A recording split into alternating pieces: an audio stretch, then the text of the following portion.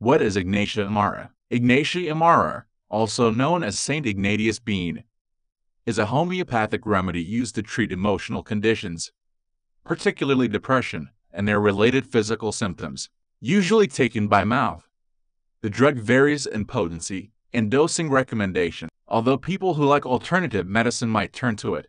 And even though it is readily available, most Western medical professionals consider it to be unsafe.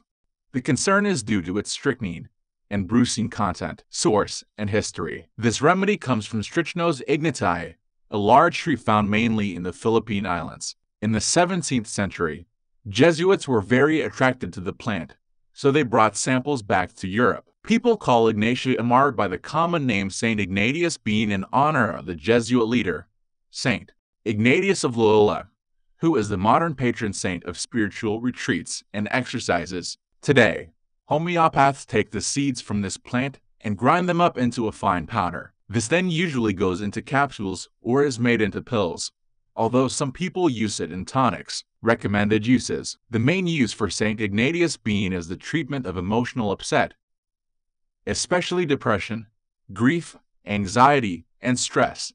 In fact, some individuals refer to it as homeopathic Prozac or the symptoms often linked to these problems, such as poor digestion, headaches, crying, and insomnia, all are said to lessen when taking it. Here, the idea isn't that the substance will totally erase symptoms, but rather that the person taking it simply will have a greater mental strength to cope with them.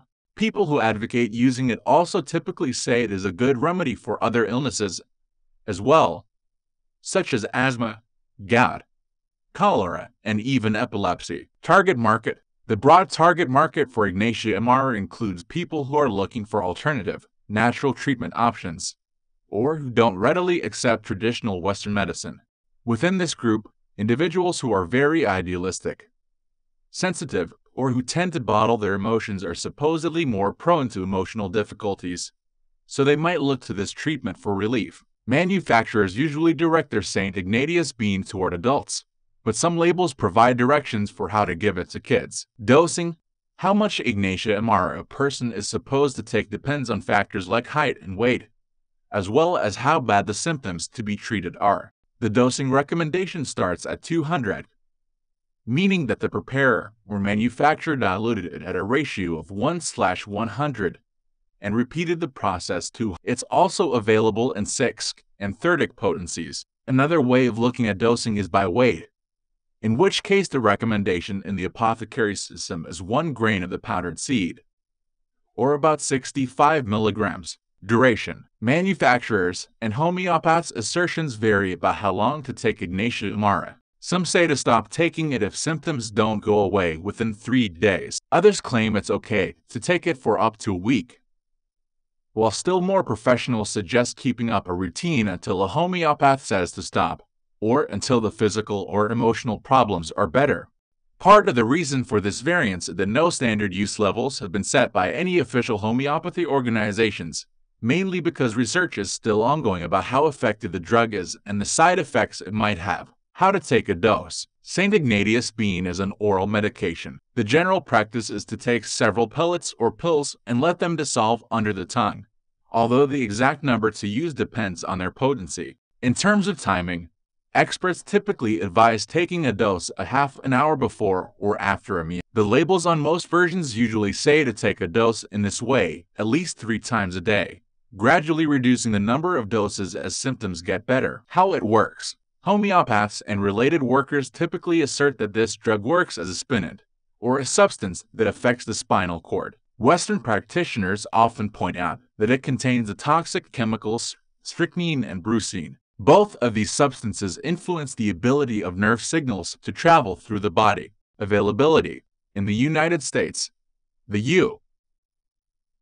Food and Drug Administration formally banned St. Ignatius bean from non-prescription medical products in 1989, but as of 2000 that is not an illegal substance and still can be sold by itself. It also has a strong tradition in other cultures and countries, such as in Chinese herbal medicine.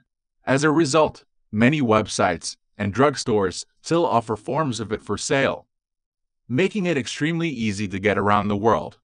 Many people buy it through their local licensed homeopaths, who have better connections to the suppliers of many plants and herbs. Dangers and warnings. With Ignatia amara containing brucine and strychnine, both of which are poisonous, a person has to take extreme care when preparing or taking a dose. Miscalculating by even a small amount can result in serious side effects, such as excruciating muscle cramps that can lead to trouble breathing. It also builds up in the liver, damaging it, and can cause problems during pregnancy or breastfeeding. The drug is potentially deadly and, therefore, isn't recommended for general, unsupervised use. The dangerous nature of this substance is what led to the FDA ban, and modern healthcare professionals typically still classify it as unsafe, despite the fact St. Ignatius bean is potentially fatal if accidentally or purposely mishandled. Many people in the homeopathic sector still put their support behind it. They generally claim that, with proper dosing, the amount of strychnine brucine a person gets is so slight that it's inconsequential. These individuals usually recommend half a dose for children as young as two years old, although they often suggest consulting a professional before using it if a person is pregnant.